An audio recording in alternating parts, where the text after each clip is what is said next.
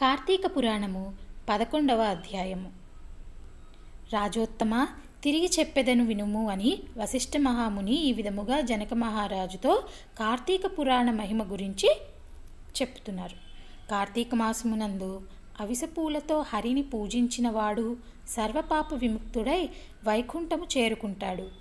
చిత్రరంగులతో కూడిన వస్త్రము హరికి సమర్పించినవాడు మోక్షము పొందుతాడు. ఉదయం స్నానము చేసి హరి సన్నిధిలో దీపమాలలు ఉంచినవారు పురాణము చెప్పువారు విన్నవారు పాప నివారణం పొంది పరమపదము పొందుతారు. ఈ విషయమై మీకు నేను ఒక కథను చెప్పెదను వినుము అని వశిష్ఠ మహాముని చెప్పారు. ఈ కథ విన్నవానికి సర్వపాపములు పోయి ఆయురారోగ్యములు పొందుతారు. కళింగ దేశములో మందరుడు అనే ఒక బ్రాహ్మణుడు ఉండేవాడు బ్రాహ్మణుడైన కూడా స్నాన సంధ్యలు విడచి కూలి పని చేసుకొని చుండెడివాడు అతనికి పతివ్రత సమస్త సాముద్రిక లక్షణములు గల శ్రేష్ఠురాలైన సుశీల అనే భార్య ఉండేది. ఆమె తన భర్త దుర్గుణములను చూచి అతనిని ద్వేషించక సేవ చేస్తూ ఉండేది.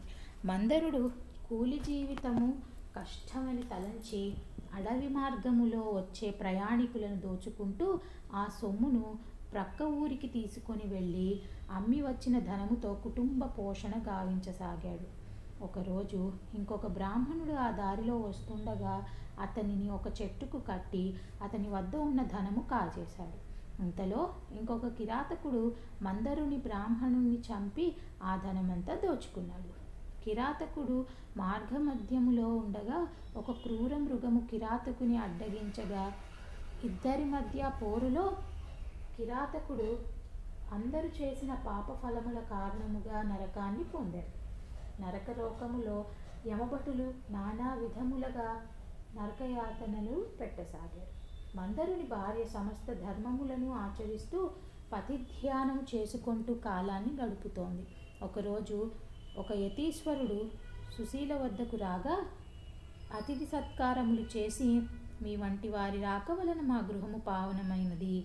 నాకు పుణ్యలోకము ప్రాప్తించుగము చెప్పమని ప్రార్థించింది. ఆమె ప్రార్థన విన్న యతీశ్వరుడు ఈరోజు కార్తీక పౌర్ణమి మహాపర్వము. ఈరోజు ఇంట్లో హరిసన్నిధిలో ఎవరైతే పురాణ పఠనము చేస్తారో వింటారో దీపారాధనతో హరిని పూజిస్తారో వారు ముక్తి పొందుతారు. అన్న యతీశ్వరుల మాటలు విన్న సుశీల ఇంటిని గోమయముతో అలికి శుభ్రము చేసి స్నానము ముగించి హరి ముందు దీపము వెలిగించి పూజించి యతీశ్వరుని పురాణ పఠనమును శ్రద్ధగా విన్నది. కొంతకాలము తర్వాత సుశీల దిగ దివంగతురాలైనది.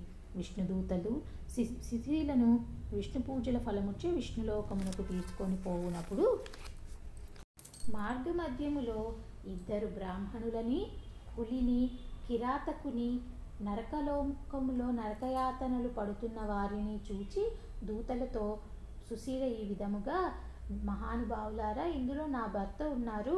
అతనికి స్వర్గలోక ప్రాప్తికై ఉపాయము చెప్పమని అడిగినది.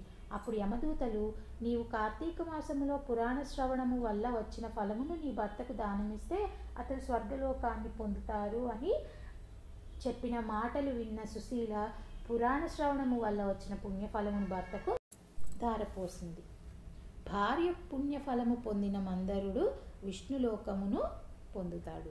ఈ కథ చదివిన వారు విన్నవారు మోక్షములు పొందుతారు అని వశిష్ఠ మహామ మహాముని జనక మహారాజుతో చెప్పాడు. పదకొండవ అధ్యాయము సమాప్తము. ఓం నమ శివాయ.